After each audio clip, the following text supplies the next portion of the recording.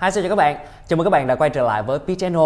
Vào ngày 7 tháng 6 vừa qua thì Apple đã tổ chức sự kiện WWDC 22 nhằm cho ra mắt những cái phiên bản cập nhật mới cho những thiết bị của mình à, từ iPhone cho tới uh, iPad hay là Apple Watch À, uh, MacBook vân vân. Và trong số đó thì iOS 16 là phiên bản cập nhật nhận được rất nhiều sự quan tâm từ người tiêu dùng bởi vì đây là phiên bản cập nhật nó đem lại những cái cải tiến và những tính năng mới hơn rất là nhiều so với những phiên bản trước đó. Chẳng hạn như là bạn có thể tùy biến được uh, cái màn hình khóa theo phong cách cá nhân của mình hoặc là uh, thay đổi những cái tin nhắn đã gửi hoặc là thu hồi những cái tin nhắn đó luôn. Tuy nhiên, đây cũng chỉ mới là phiên bản beta cho nên là nó sẽ tồn động rất là nhiều lỗi. Và để biết đó là những lỗi nào thì hãy cùng mình bắt đầu video ngày hôm nay luôn nhé.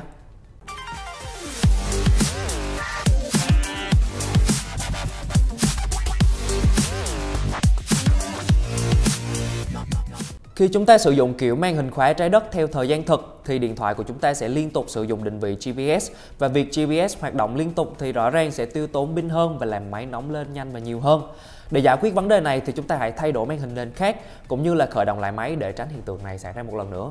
Một lỗi nữa tiếp theo xảy ra trên iPhone 12 khi mà mình thử nhắn tin và gõ một vài chữ thì nó sẽ xảy ra hiện tượng là không có viết dấu được ở trên một số ký tự ví dụ như là chữ á thì mình gõ đôi lúc sẽ không được đôi lúc thì lại được. Và có lẽ đây là một lỗi vô cùng khó chịu khi mà chúng ta cần có những cái lúc mà à, phải gõ văn bản nhanh. Chẳng hạn như là nhắn tin cho bạn bè chẳng hạn. Đây như các bạn có thể thấy thì mình không có thể gõ được cái chữ á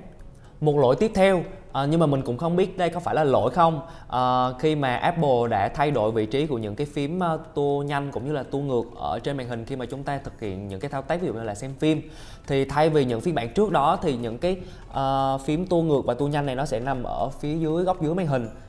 thì bây giờ nó đã chuyển lên nằm ở phía giữa màn hình cho nên là à, khi mà các bạn sử dụng những thiết bị có màn hình vừa phải như là dòng iPhone mini hay là iPhone iPhone 12, 12 Pro thì thấy là nó vẫn không có xảy ra vấn đề gì nhiều. Nhưng mà nếu sử dụng cho những thiết bị có màn hình lớn hơn như là dòng Pro Max thì thay vì chỉ cần sử dụng một tay để nhấn phím tu như trước thì bây giờ bạn phải dùng hai tay để nhấn ở giữa màn hình. Thực sự khá là khó chịu đối với uh, cá nhân mình những vấn đề liên quan tới hiệu năng của máy chẳng hạn như là việc uh, máy sẽ ngốn pin nhiều hơn uh, hiệu năng của máy sẽ giảm đi hoặc là nhiệt độ của uh, chiếc điện thoại của chúng ta sẽ um, tăng lên nhiều hơn so với trước uh, tuy nhiên đây cũng chỉ mới là bản cập nhật beta cho nên là những cái uh, uh, vấn đề này nó sẽ nằm trong dự tính của mình khi mà mình uh, cập nhật lên phiên bản này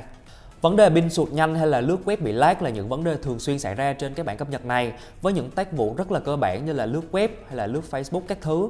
Với những tác vụ nặng hơn như là chơi game thì máy còn nóng nhanh hơn nữa, có lúc lên đến hơn 40 độ C.